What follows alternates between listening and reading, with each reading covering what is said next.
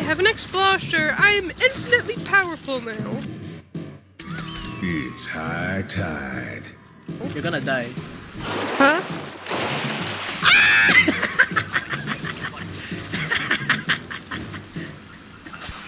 I hate you so much.